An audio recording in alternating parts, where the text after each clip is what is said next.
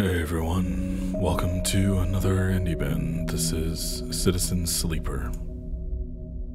Let's uh let's check this one out cuz I've been wanting to since it was shown off at what was it E well, I guess not E3, it would have been the summer game thing um back last year, year before. And since then, since it's come out a couple days ago, I've heard nothing but amazing things about it. So, uh, operator, extractor. I like. Oh no, that's I didn't mean to.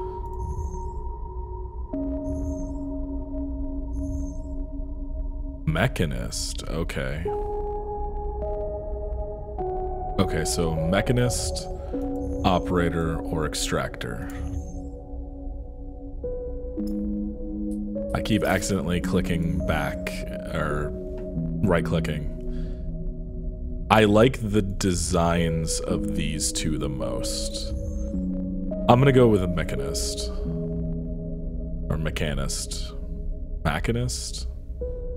I don't know. Anyway, let's uh let's go check this out. The first thing you become aware of on waking is the disconnect, the delay between thinking and feeling, between wanting to act and acting, minor, almost imperceptible, but always present.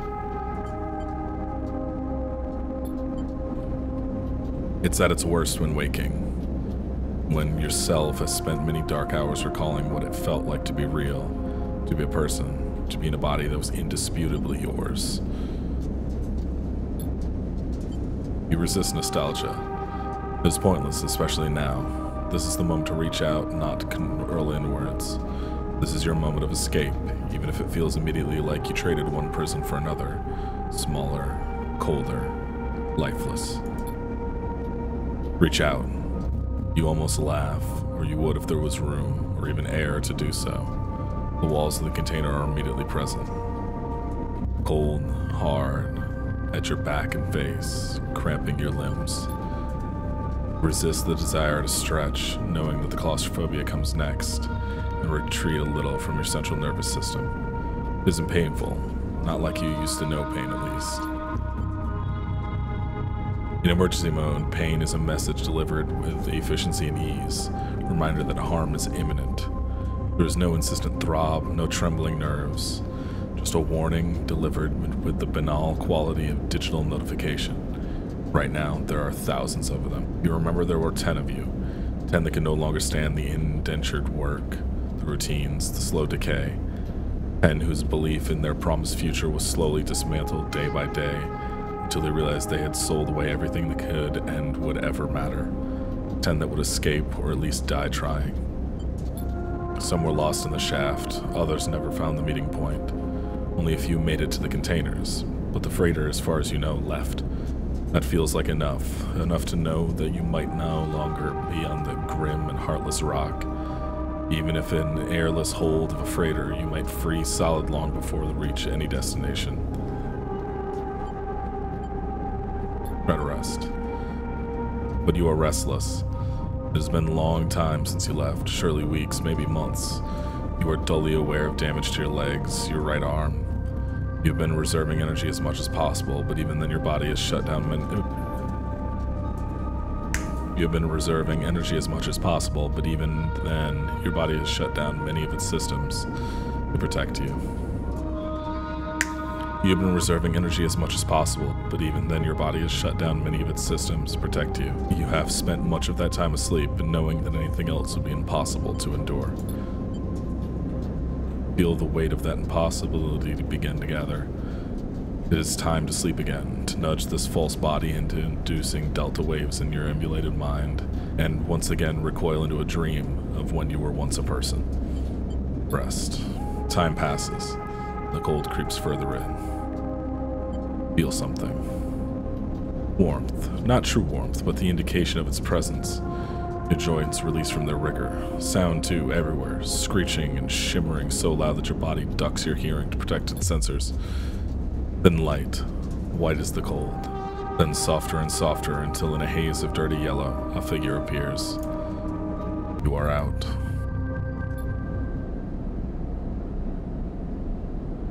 Oh, that was a lot. Oh, this is cool.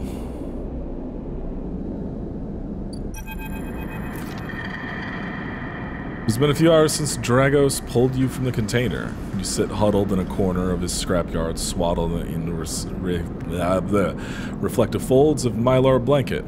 You are slowly coming back to consciousness, back to life. You stare at your ornately curving element of at the ornately curving element of an improvised heater. You're surrounded by angular, incoherent lumps of ships, some corroded beyond recognition, others still carrying glassy wounds along their edges where plasma arcs slice them apart. As you trace their shapes with fogged eyes, you hear a voice. So, sleeper, you all thawed yet? Almost. Never seen one of you come out like this. New frames must have been better preserved than Sub-Zero vac. Seen more than a few you froze solid to hull plates or inside outer locks in my time. They weren't so lucky. Dragos comes into focus, shrouded in makeshift tech, his headset with its glinting eyes, the mark of a drone operator. On his shoulder, one of his symbiotically linked drones perches, its iris eye locking, locking you with an unflinching stare. Last living sleeper that came through this yard a while ago. Didn't last long. To read his expression beneath the tech, but he seems lost in memory for a moment. Perhaps he is just figuring out what to do with you. I plan to survive. Not sure if he hears you. I won't ask what you led to do it. I won't ask what led you to do it, to sell yourself to a corporation. I suppose you know you can't go back. Your old body, that's theirs now. And you are just software. Rogue emulation, illegally possessing corporate property. You nod along. You remember biometrically signing the forms, the cold floor at your feet as padded as you padded to the sleeper cells, the promise of life off world. But as you do, you get the now familiar sensation these aren't your memories.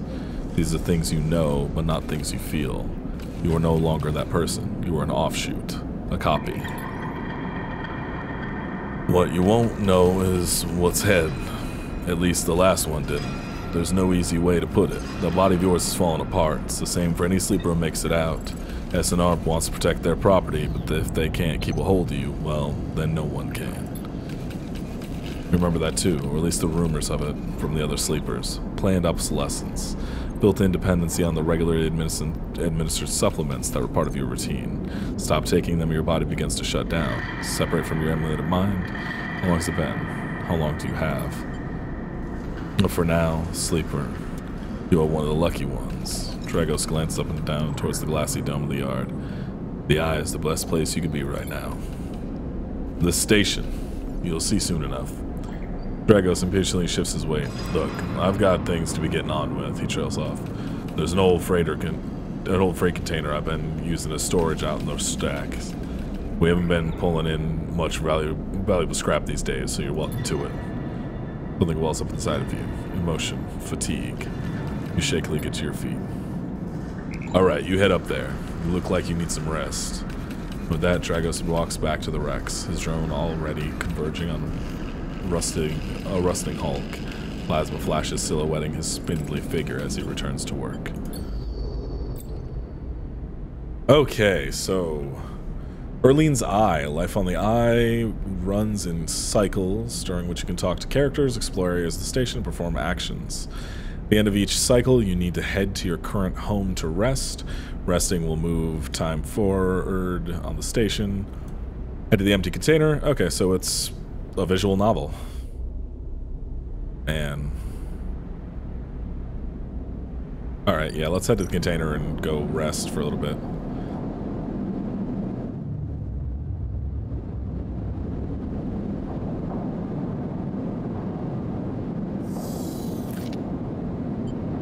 Wake up curled in the corner of the container and begin slowly assemble the world around you. After all this time, you still find the body, the one you wake in now, strange and disjointed. Its message is unreadable, but somehow wrong. Oh, its message is readable, but somehow wrong. Sit up and pull the mylar blanket close against the cold. Here you are on this ruined station, millions of miles from anyone you know. Are you still in the system? Did any of the others make it out? It's impossible to know. After all this, what matters? Building a life. Maybe you get, did get lucky finding yourself here. Maybe here, on the edge of everything, there's a life for you to build. But before you can build anything, you'll need to learn to survive. If you can do that, you can make a life for yourself.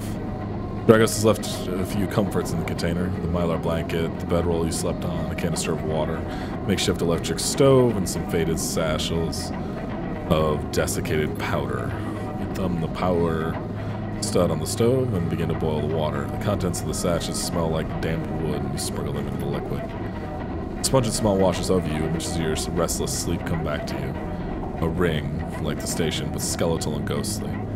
A web of threads pulling at your skin, a constellation of bright polygonal shapes, like the angular sun, burns into your mind. There's something unpleasantly visceral about these images, and it, is, and it is long after you finish drinking that they begin to fade. You tidy away the stove as best you can and try to gather enough energy to greet the day. Alright, we'll do a little bit and then we'll be done just because holy shit, there's a lot. This game already looks goddamn amazing. Condition represents the current state of your artificial body. Okay, action dice and energy bar. Got it. Okay.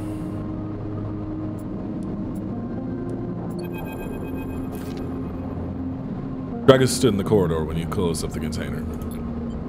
He's still wearing his headset in the harsh light of the corridor you realize it's implanted. The drone sits on his shoulder. Cache of eye sensors rapidly rising. How are you feeling?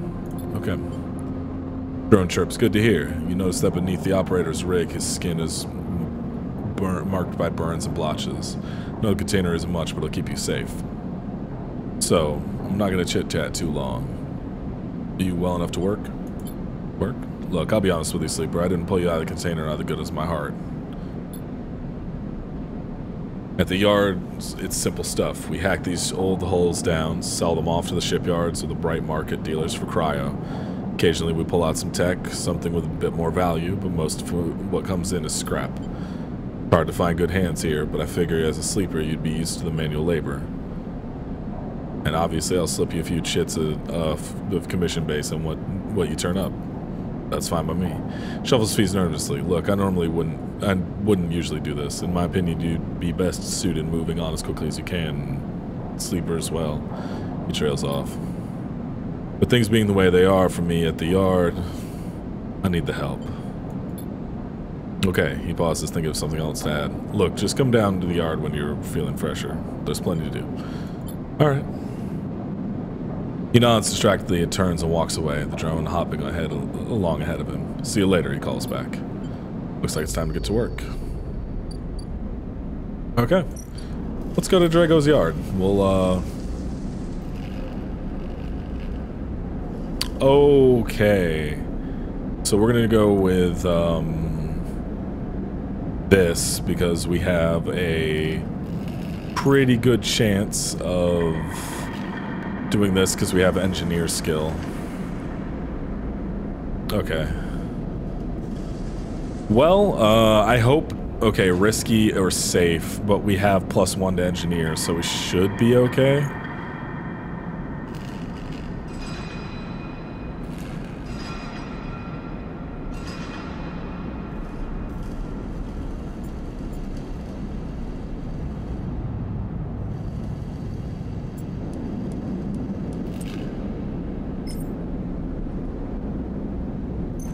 All right, let's go.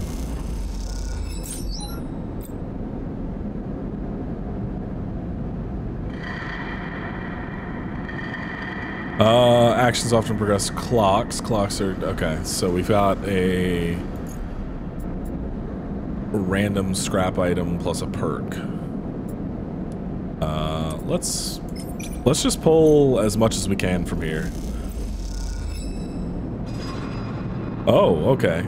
You'll unlock drives as you discover more about yourself and the world. Drives guide you into pursuing specific subject uh, objectives, depending on which one. Okay.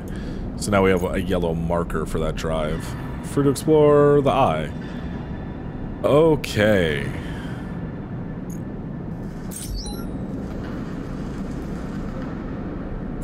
I kind of want to fix this for him first.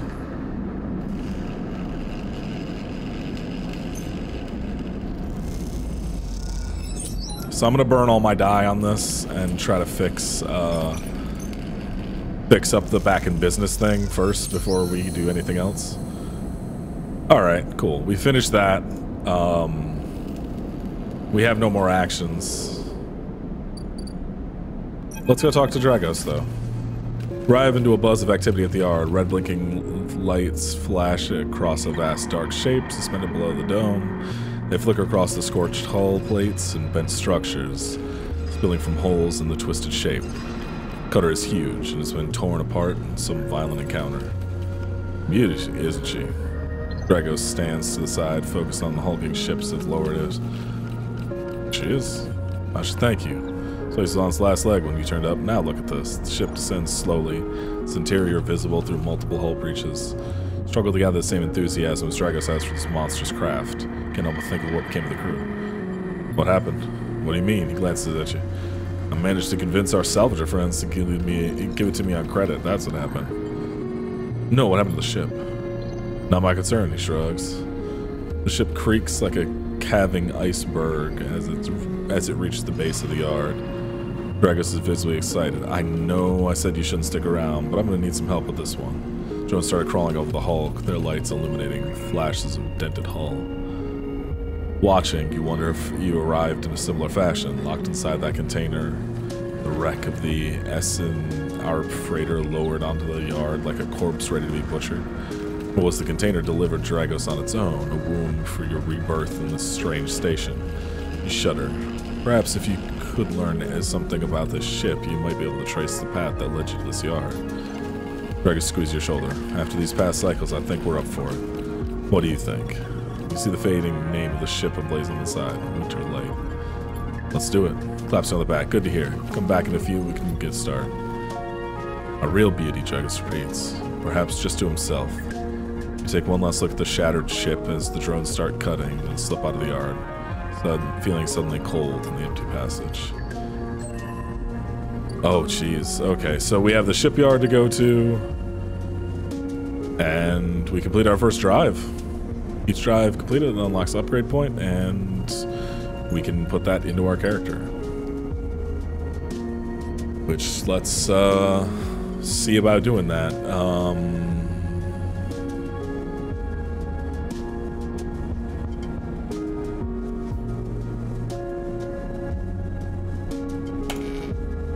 Oh, we can't do that.